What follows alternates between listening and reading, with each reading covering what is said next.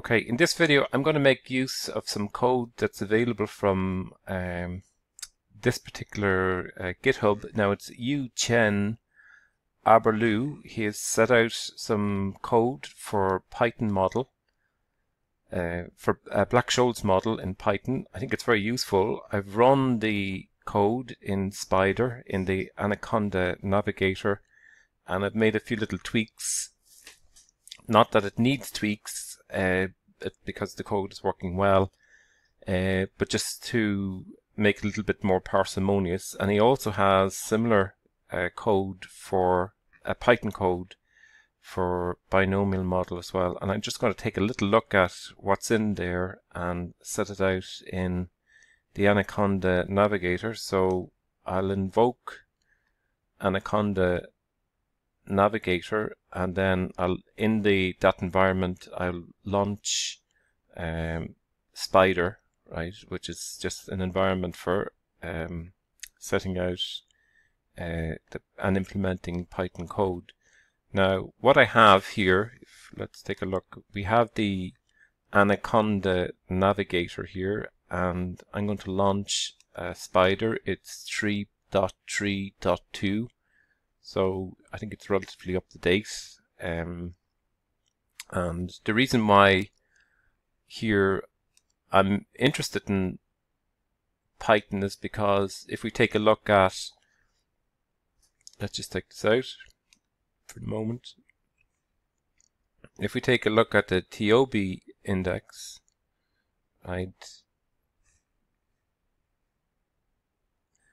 we might note that Python actually has become quite popular um, and rel relatively significant language in its own right. And it's also very popular amongst the data scientists. So, uh, for instance, I occasionally go into Kaggle and just look at some of the data science projects uh, in there. And if you go into the kernels, uh, gen generally in these kernels you have data and you have uh, some code for running estimations and a large number of these uh, projects um, are in Python.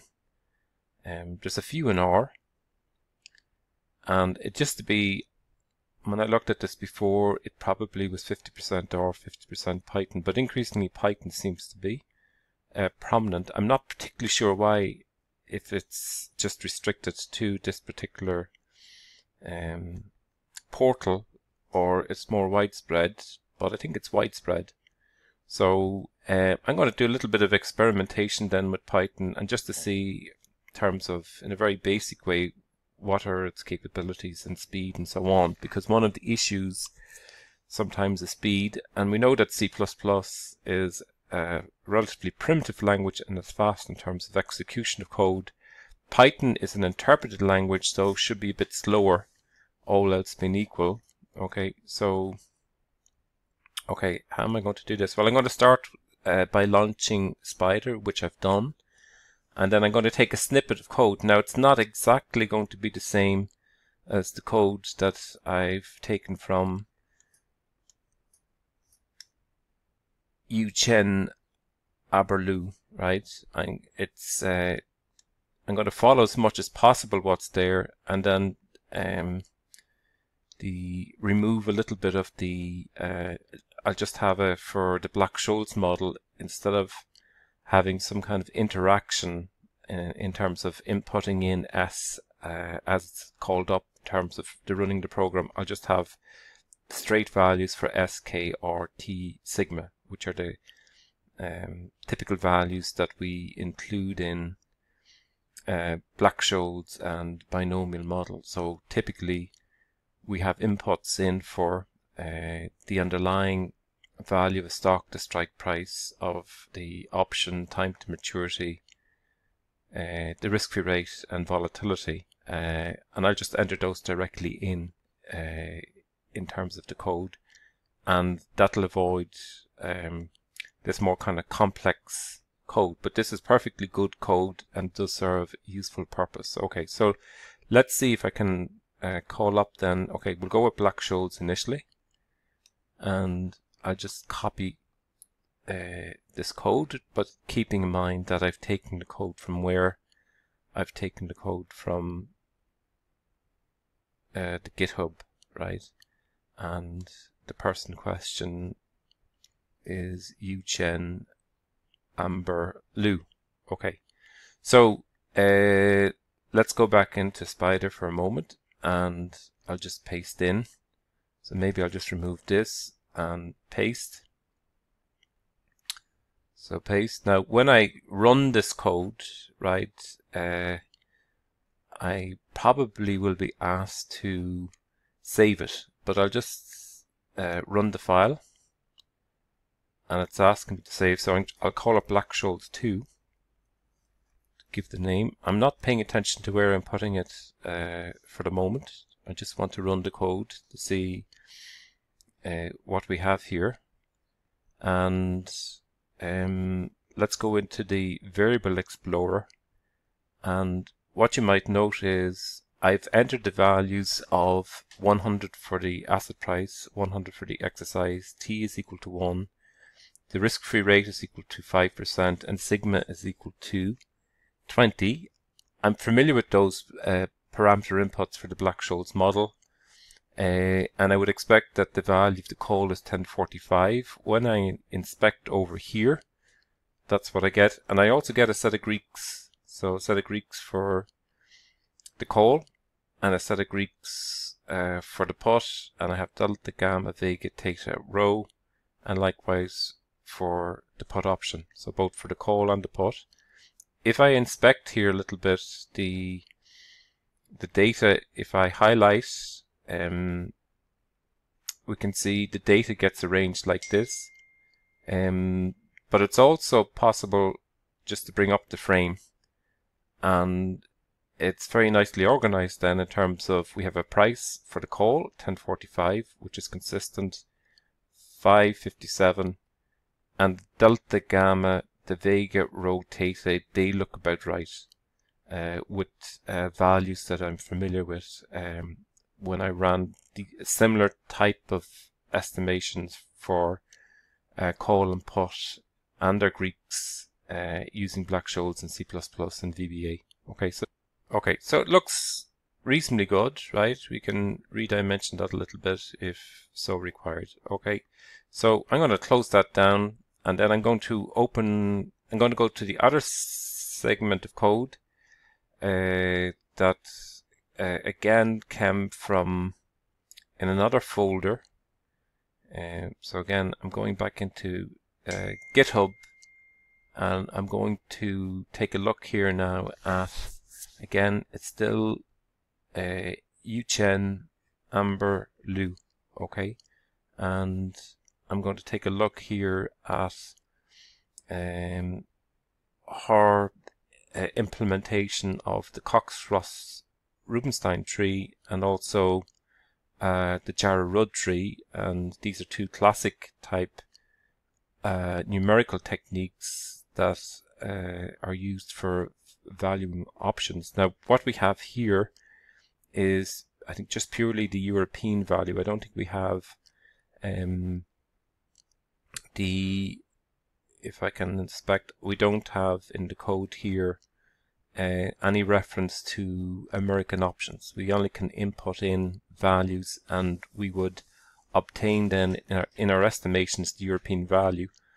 Uh, but uh, despite that, something that we like to demonstrate in terms of uh, when uh, teaching this area is the degree to which and the speed at which uh, these trees converge to some particular level. And we can kind of see that as we increase the step size here, going from 0 to 5000, uh, the variability as the step size increases tends to reduce. And we, we, do, we get a kind of convergence both for the, for the, I think the call value and the put value. So again, what I've done here is I've taken the code pretty much as given. And instead of having this more elaborate set of instructions for inputting in the parameter values where you would be prompted with a, what is the current stock price, what is the strike price, and so on, right? And that in itself could be very useful. Um, what I uh, have done instead is just taken uh, Amber's code and um, just very simply entered in uh, values directly for the code. So in other words, just set s equal to 100, k to 100, t to 1, r to 0.05, and sigma to 0.2. Again, another nice thing here with this with Python is the the graphing, right? That it, you seamlessly transition from inputting the code in and graphing. So let's just run it, see how that goes. Okay, so I have the Cox Ross Rubinstein code here. We will just copy the code. Okay, and it's Amber's code, so I'll copy this code.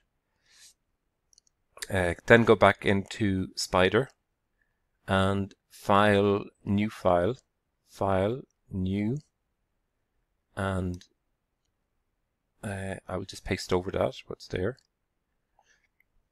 Okay, and when we, I should probably probably clear the variables here, right? So we're starting afresh, and I'll just run the entire uh, segment of code. So uh, again, I'll say CRR uh, Jarrow Rudd, and I'll just call it two okay, to distinguish it from a previous implementation. And okay, so uh, I did make a change in terms of I didn't go up to 1000 actually in terms of when I ran the tree, right, uh, the value that I tried to, okay, we, uh, again, the same parameter values, um, and then if in terms of the number of runs, we went in, we started at a value of 100 step uh, steps in the tree, went up to 1000, and we increased it in increments of 100. Okay, so um, now I could change it to 50 and try that again 50. Okay, 50. And in that instance, we should go in step sizes of 50 uh, all the way through for both the Cox-Ross-Rubinstein tree and the Jarrow-Rudd tree, and we should be getting convergence uh, also. Um, okay, so let's run that again. So maybe I should clear here out the variables and uh, let's run and see what happens. And again, Okay, now it's come back it's 200, 400 whatever, but actually we probably can observe that there's a change here along. Let's just see what we have, the step sizes. So this is for the graph. And yeah, it looks fine. Let's just open up, um, see where our data is here. So runs and the step size is going from 100, 150, 200, 250, 300, 350 and that's for the uh, Cox Ross Rubinstein and for Jarrow Rudd. Um, the sigma is 0.2. Uh, the value of the call, let's just bring that out. We have frames. So the Cox Ross Rubinstein call is 1044. Uh, the Cox Rubinstein Cox Ross Rubinstein put is 557. They're relatively accurate. Jarrow Rudd call 1045. Jarrow Rudd put uh, 557. So a reasonable level of accuracy. So it's a nice overall. This is a a nice environment in which to make the estimation. It doesn't seem too slow. Uh, we could test it a little bit more rigorously if we put it up to 5000 and that's what Amber would have had in her original code. Um, and I think I'll leave it there and if I need to add on something here I'll just do a second video. So I'll stop the video at this point and um, I'll probably uh, create a second shorter video to finish up.